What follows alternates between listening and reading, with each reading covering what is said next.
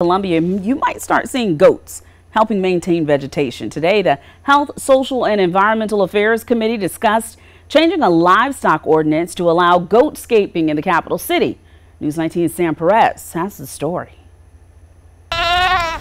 I'd like for this to attract bees and butterflies, so the no chemical part was very important to me. It's why Columbia resident Mary Green Brush hired goats to clear out the vegetation this past spring. They love reaching up into the trees, and over about three days, the goats had all of this cleared to the ground.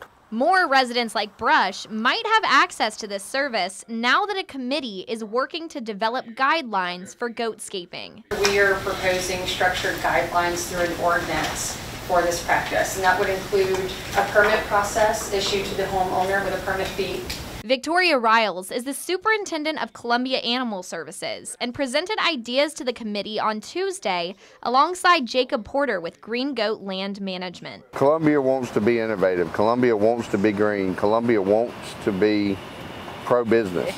I want to help them do that in a way that satisfies their needs to be protective of their environment and protective of the people, but at the same time allow business to business. Which entails creating a separate permit, one for homeowners and one for commercial property owners. It also aims to address nuisance issues that set parameters for topics like fencing signage and proximity to schools to address concerns from residents like Vivian Nelson, who does not want goats in her neighborhood. They don't make the yard look any better. They might, you know, eat the grass and keep the grass down, but when it comes to edging and cutting hedges and things like that. Goats can't do that. In addition to the land, Nelson is concerned about the electric fence that Porter puts up to keep the goats in place, which is why Assistant City Manager Clint Shealy is working with a committee to establish the guidelines. Putting parameters around how this is done, I think will will certainly take into account the objections that were presented at the last council meeting